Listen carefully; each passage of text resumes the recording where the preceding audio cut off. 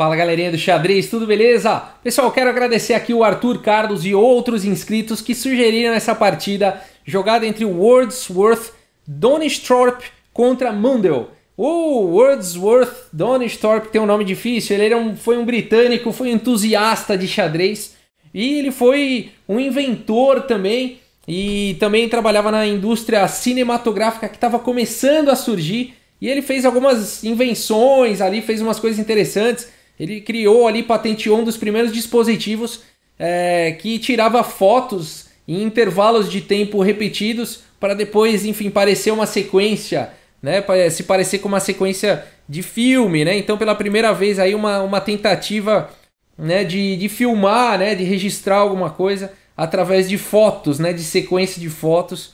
E, enfim, muito interessante. Participou desse começo aí, né, de toda a indústria cinematográfica e tudo mais. E também era entusiasta de xadrez e essa partida aqui é sensacional. Oh, aqui o Wordsworth está de brancas então contra o Mundell. E ele abre a partida com E4. Temos E5, cavalo em F3, cavalo C6 e aqui cavalo C3, a abertura dos três cavalos. As negras podem jogar aqui cavalo F6 e partirem para a abertura dos quatro cavalos. E se você for uma pessoa é, que gosta aí de bruxaria, você vai pro ataque Halloween aqui, né? Com cavalo por E5 e sacrifica aí o cavalo no lance 4, né? E depois de cavalo por E5, D4, enfim, é uma partida bem divertida, né? Depois de, por exemplo, cavalo C6, D5, cavalo E5, F4, você fica perseguindo aí os equinos, né? Cavalo G6, E5, cavalo aqui em G8 e D6, por exemplo, a gente tem uma partida bem divertida aqui no tabuleiro, né? mas não seguiu nada, nada a ver com isso. Depois de cavalo C3 aqui, as negras não foram para o cavalo F6 e seguiram aqui com D6, portanto protegendo aí o peão de E5 e abrindo para o bispo de casas claras poder jogar. D4 indo diretamente aí ao centro, bispo G4, é, bispo em E3, colocando mais uma defesa aqui em D4, afinal de contas o cavalo de F3 está cravado. E agora o lance F5, as negras aí partem com agressão aí é, em direção ao centro e agora D5 atacando o cavalo, F por E4, capturando o peão e atacando agora o cavalo de F3, cavalo por E4 e agora cavalo de C aqui em E7. O cavalo estava atacado, ele volta aí para segurança. É, C4, colocando mais força aqui no peão de D5, cavalo em F6 desenvolvendo, atacando agora o cavalo aqui em E4, cavalo por F6, G por F6 e agora H3 atacando aí o bispo.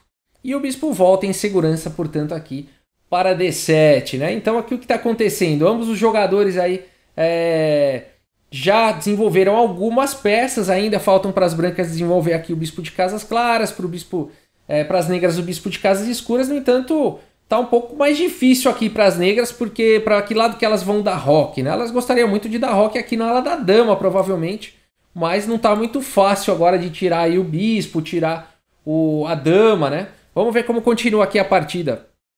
Cavalo em H4. As brancas não perdem tempo e partem aí para um ataque ao rei adversário, explorando aqui as fraquezas da posição. É, cavalo G6 e agora bispo aqui em D3, colocando pressão forte no ponto de G6. Esse lance é interessante porque ele deixa o cavalo aqui em H4 desprotegido. A partida segue com o cavalo toma em H4 e agora Dama H5 entrando aí na posição e o cavalo vai cair na sequência, né? Então, se por exemplo aqui se jogasse um lance como Rei E7, não foi o lance jogado, Dama toma em H4, recupera a peça e as pretas não teriam mais aí o rock, vantagem para as brancas, né? Então, depois de Dama H5 cheque, a partida continuou com o cavalo retornando aí para G6 e depois então de Bispo por G6 dando cheque aqui coloca as pretas também, mais uma vez, numa questão, numa situação difícil, porque se jogar peão, toma em G6, está caindo a torre, né? Não foi assim que seguiu na partida, mas aqui continuaria-se com dama por H8, com ligeira vantagem aí para as brancas, né? Depois de, por exemplo, dama E7 para poder dar rock, dama G8 atacando aqui em G6, dama F7, dama por F7, rei por F7, H4, as brancas têm uma posição melhor aí. E, enfim, estão melhores também materialmente. Tem melhores condições de levar uma partida dessa para uma vitória, né? Mas, então, depois aqui é, de dama H5 cheque, cavalo G6 e bispo por G6, as pretas não continuaram com o peão toma bispo. E dama por torre e jogaram sim rei e7 para tentar manter aí o equilíbrio material, pelo menos na posição.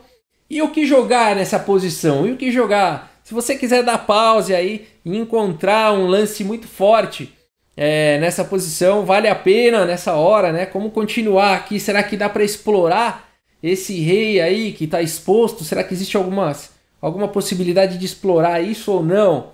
E aqui, por incrível que pareça, pessoal, por incrível que pareça, Nessa posição existe cheque mate forçado em dois lances. Mate em dois, meus amigos. Pois é, se você ainda não encontrou a sequência, agora que eu avisei que tem mate em dois, tenta mais um pouco que quem sabe você encontra aí. Vou torcer para você encontrar. E o mate em dois, então, foi o lance jogado aqui na partida.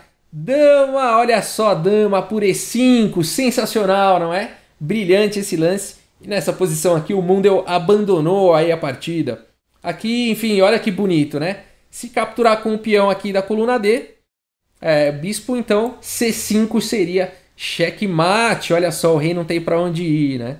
E vamos voltar aqui, ó. Se capturar com o peão de F, bom, aí bispo G5, aí o bispo vai pro outro lado, olha que bonito. Não tem jeito, vai ser checkmate. Muito bonito, né? Que configuração peculiar aí, que coisa bonita.